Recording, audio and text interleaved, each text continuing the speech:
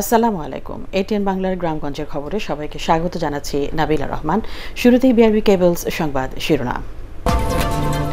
Corona ভাইরাসে চব্বিশ ঘণ্টা দেশে আরও চুয়ান্ন জনের মৃত্যু। আক্রান্তের সংখ্যা ছাড়ালো তিন লাখ। নতুন শনাক্ত দুই হাজার পাঁচশো উনিশ। ক্রস ফায়ারের ভয় দেখিয়ে চাঁদাবাজির অভিযোগে সিনহা হত্যা মামলার প্রধান আসামি এস আই লিয়াকত সহ সাতজনের বিরুদ্ধে চট্টগ্রামের আদালতে মামলা। খুলনার তেরখাদা ও কুষ্টিয়ার দৌলতপুরে দুটি হত্যা মামলায় একজনের মৃত্যুদণ্ড ও পাঁচজনের যাবজ্জীবন কারাদণ্ড। এবং বৈরী আবহাওয়ায় বরিশালে অভ্যন্তরীণ সব রুটের লঞ্চ চলাচল বন্ধ। দেশের বিভিন্ন জেলায় বন্যা পরিস্থিতির উন্নতি।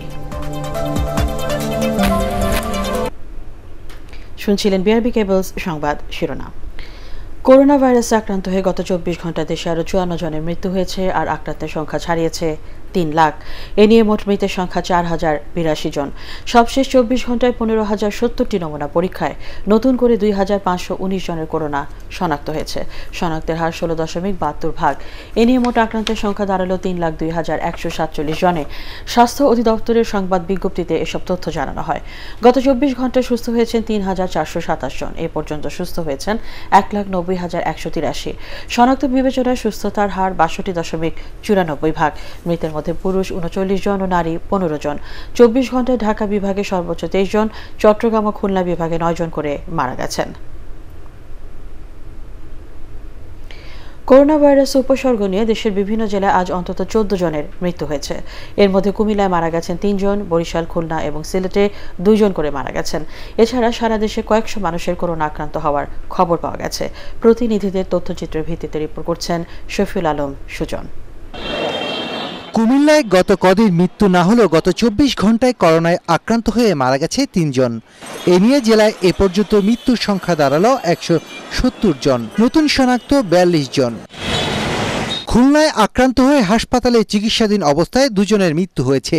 বিভাগের দশ জেলায় নতুন করে শনাক্ত দুশো জন। বরিশালে কোভিড পজিটিভ ও উপসর্গ নিয়ে দুজন মারা গেছে। একদিনে বিভাগের ছয় জেলায় শনাক্ত একান্ন জন। অবনতি হয়েছে সিলেটের করোনা পরিস্থিতির। জেলায় আরও দুজনের মৃত্যু হয়েছে, নতুন করে আক্রান্ত উনপঞ্চাশ জন।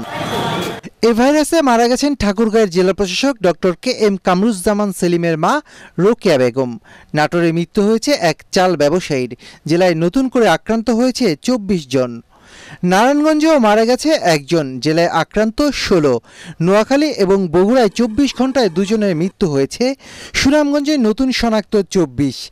এছাড়া রংপুরে আক্রান্ত হয়েছে সাতচল্লিশ জন। Bureau report ATN Bangla. চট্টগ্রামে ক্রসফায়ারের ভয় দেখিয়ে চাঁদাবাজির অভিযোগে অবসরপ্রাপ্ত মেজর সিনহা হত্যা মামলার প্রধান আসামি বরখাস্ত এসআই লিয়াকত সহ সাতজনের বিরুদ্ধে আদালতে মামলা করেছেন এক ব্যবসায়ী। মহানগর হাকিম আবু সালে মোহাম্মদ নোমানের আদালতে মামলা দায়ের করেন ব্যবসায়ী জসিমউদ্দিন আদালত মামলা আমলে নিয়ে গোয়েন্দা পুলিশের উপকমিশনারকে তদন্তের নির্দেশ দিয়েছে। দু হাজার চোদ্দ সালের চোদ্দ জুন ব্যবসায়ী জসিমকে একটি মামলায় জিজ্ঞাসাবাদের কথা বলে নগর গোয়েন্দা পুলিশের কার্যালয়ে ডাকেন এসআই লিয়াকত। পরে ক্রসফায়ারের ভয় দেখে পাঁচ লাখ টাকা দাবি করেন তিনি। তবে আড়াই লাখ টাকা দেয় চুরি মামলায় আদালতে চালান দেওয়া হয় ওই ব্যবসায়ীকে। প্রায় উনিশ দিন জেলে থাকার পর জামিনে মুক্ত হন ওই ব্যবসায়ী।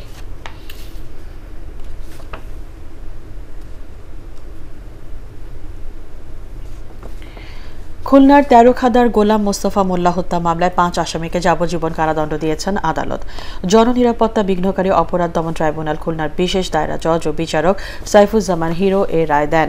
মামলার বিবরণে জানা যায় দু হাজার চৌদ্দ সালের ছাব্বিশ অক্টোবর জেলার তেরোখাদার নয়া বারাসাত গ্রামের গোলাম মোস্তফা মোল্লার ওপর ধারালো অস্ত্র ও রড দিয়ে হামলা চালায় দুর্বৃত্তরা। পরে চিকিৎসাধীন অবস্থায় তার মৃত্যু হয়। এ ঘটনায় নিহতের ছেলে মিলন মোল্লা বাদী হয়ে বিশ জনকে আসামি করে মামলা দায়ের করেন।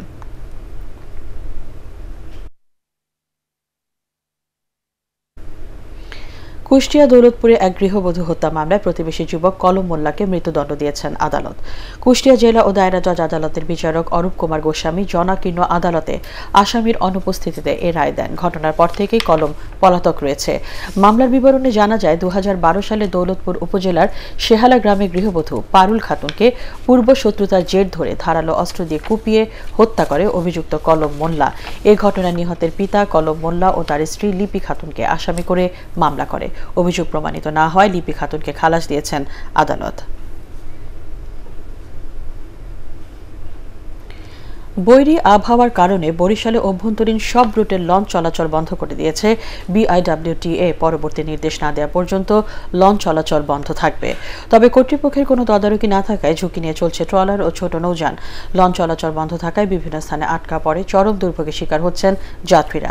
এদিকে পাটুরিয়া দৌলতিয়া এবং আরিচা, কাজিরহাট ও নৌ রুটেও লঞ্চ চলাচল বন্ধ রয়েছে। বিআইডব্লিউটিএ জানিয়েছে, পদ্মা ও যমুনা নদীতে প্রচণ্ড স্রোত এবং ঢেউয়ের কারণে দুর্ঘটনা রোধে সকাল থেকে বন্ধ রাখা হয়েছে। লঞ্চ চলাচল। তবে পাটুরিয়া দৌলতদিয়া নৌ রুটে ফেরি চলাচল স্বাভাবিক রয়েছে। সাগরে সৃষ্ট নিম্নচাপের প্রভাবে মেঘনায় অতিরিক্ত জোয়ারের পানিতে তলিয়ে গেছে ভোলার ইলিশা ফেরি ও লঞ্চ ঘাট। ভোরে ঘূর্ণি, বাতাস উত্তাল ঢেউয়ের আঘাতে ফেরি ও লঞ্চ ঘাট এলাকার বেশ কয়েকটি ব্যবসা প্রতিষ্ঠান ক্ষতিগ্রস্ত হয়। বিচ্ছিন্ন হয়ে পড়ে লঞ্চ ঘাটের পন্টন। এদিকে মেঘনা উত্তাল হয়ে ওঠায় বন্ধ রয়েছে সকল প্রকার নৌযান চলাচল। দেশের বিভিন্ন জেলায় বন্যা পরিস্থিতির উন্নতি হচ্ছে, তবে অপরিবর্তিত রয়েছে বেশ কিছু জায়গায়।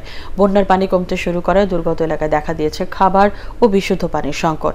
প্রতিনিধিদের তথ্যচিত্রের ভিত্তিতে রিপোর্ট করছেন জাহিদুল আলম। ঝালকাঠিতে বন্যা পরিস্থিতির উন্নতি হয়েছে।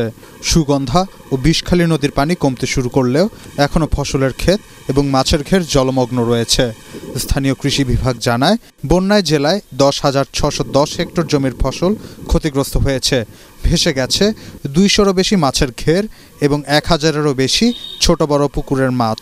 বন্যার পানি থাকাকালীন পূর্ববর্তী যে রোপণ করছি, সমস্ত রোপণগুলো পচে নষ্ট হয়ে গেছে। এবং বর্তমানে বীজ যা আছে, তাও নষ্টের পথে।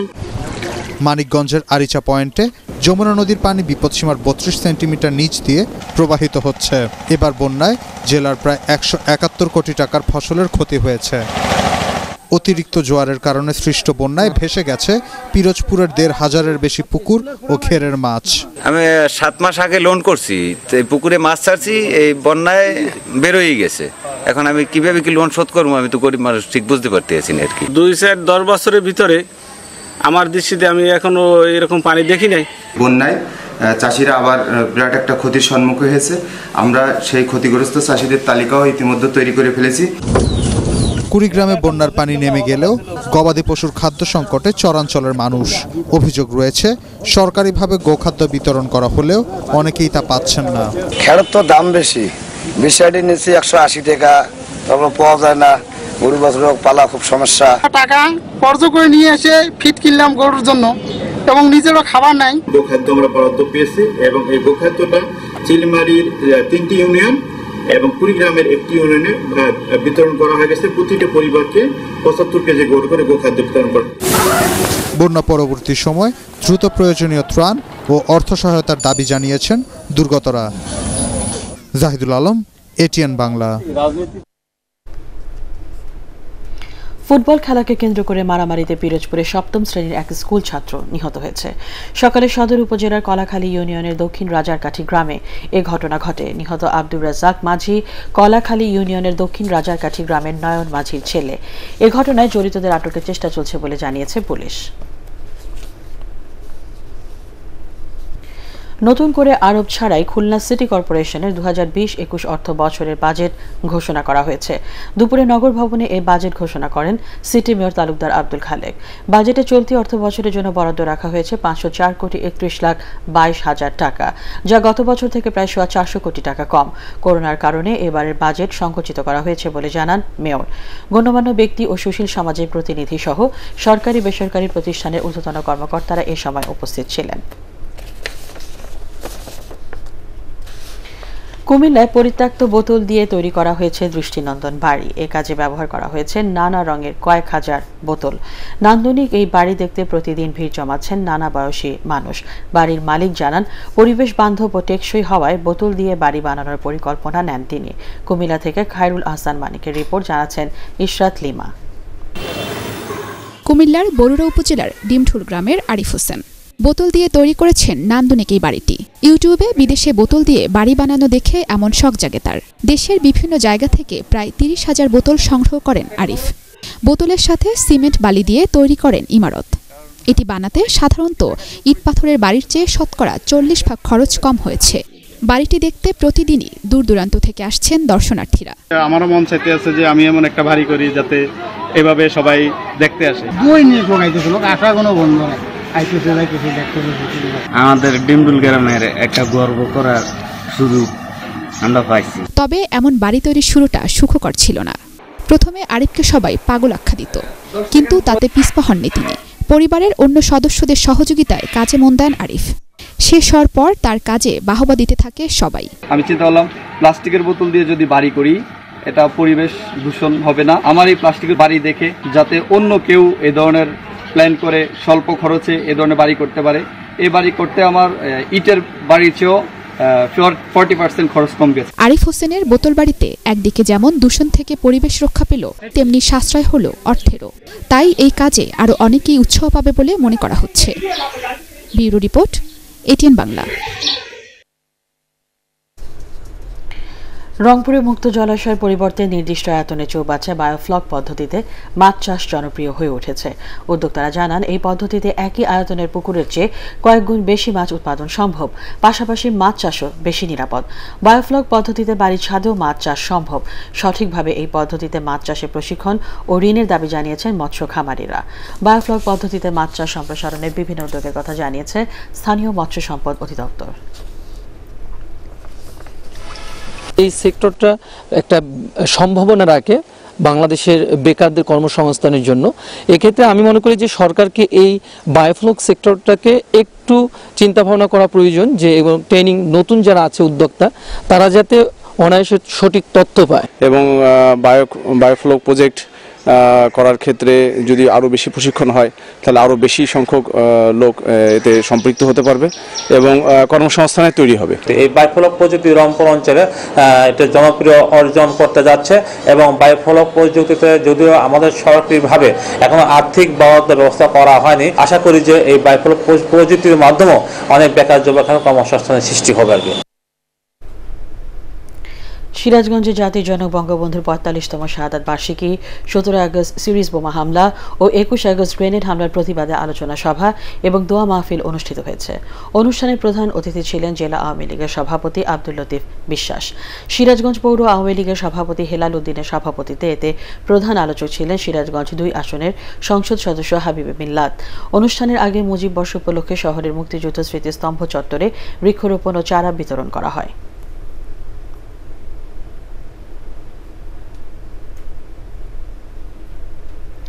কিশোরগঞ্জে স্বাধীন বাংলাদেশ সরকারের অস্থায়ী রাষ্ট্রপতি সৈয়দ শহীদ সৈয়দ নজরুল ইসলামের মিউরাল ও চত্বর উদ্বোধন করা হয়েছে।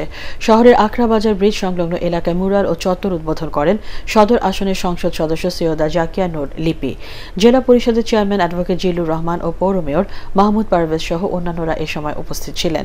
জেলা পরিষদের নিজস্ব অর্থায়নে কিশোরগঞ্জ পৌরসভা এই প্রকল্পটি বাস্তবায়ন করে। কালো পতাকা উত্তোলন, নিহতদের প্রতি শ্রদ্ধা নিবেদন, শোক র্যালি ও আলোচনা সভার মধ্য দিয়ে দিনাজপুরের ফুলবাড়িতে পালিত হল ফুলবাড়ি ট্র্যাজেডি দিবস। তেল, গ্যাস, খনিজ সম্পদ ও বিদ্যুৎ বন্দর রক্ষা জাতীয় কমিটি জেলা শাখা এ অনুষ্ঠানের আয়োজন করে।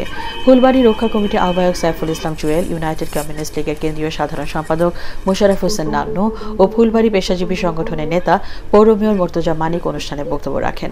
চোদ্দ বছরেও ছয় দফা ফুলবাড়ি চুক্তি বাস্তবায়ন না হয়, ক্ষোভ প্রকাশ করেন বক্তারা। করোনাকালীন সময়ে বকেয়া বেতন পরিশোধ সহ নানা দাবিতে ঝিনাইদহে মানববন্ধন কর্মসূচি পালন করেছে পাটকল শ্রমিক ও অন্যান্য পেশার শ্রমজীবীরা। বাংলাদেশ ট্রেড ইউনিয়ন সংঘ জেলা শাখার আয়োজনে প্রেস ক্লাবের সামনে এই কর্মসূচি পালিত হয়। মানববন্ধনে সংগঠনের নেতাকর্মী ও শ্রমিকরা অংশ নেন।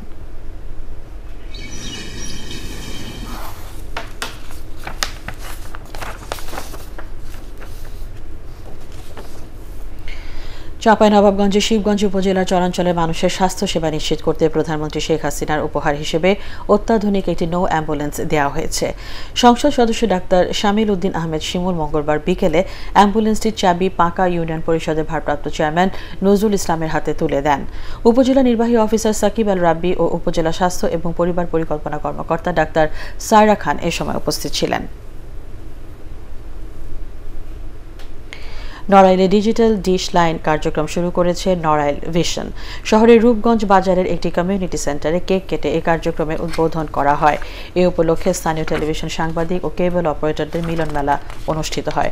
নড়াইল ভিশনের শতাধিকারী মোহাম্মদ ওয়াহিদুজ্জামান, জেলা চেম্বার অব কমার্সের সভাপতি মোহাম্মদ হাসানুজ্জামান, জেলা টিভি জার্নালিস্ট অ্যাসোসিয়েশনের সভাপতি এম মনির চৌধুরী ও সাধারণ সম্পাদক মাহবুবুর রশিদ লাবলু সহ প্রিন্ট মিডিয়ার সাংবাদিকরা এ সময় উপস্থিত ছিলেন। বরিশালে জেলা প্রশাসনের উদ্যোগে প্রতিবন্ধীদের মাঝে হুইল চেয়ার ও বঙ্গবন্ধু জাতীয় স্কুল ক্রিকেট প্রতিযোগিতায় অংশগ্রহণকারী আটটি স্কুলের প্রতিযোগীদের মাঝে চেক বিতরণ করা হয়েছে। বিতরণ করেন জেলা প্রশাসক এস এম অজিউর রহমান। সমাজসেবা অধিদপ্তরের উপপরিচালক আল মামুন তালুকদার সহ অন্যান্যরা এ সময় উপস্থিত ছিলেন।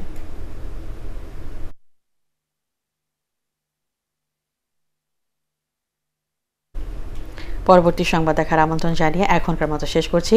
করোনা ভাইরাস থেকে নিজেকে সুরক্ষিত রাখতে মাস্ক পরুন, বারবার হাত পরিষ্কার করুন। এটিএন বাংলা সংবাদ ইউটিউবে দেখতে ব্রাউজ করুন YouTube slash ATN Bangla news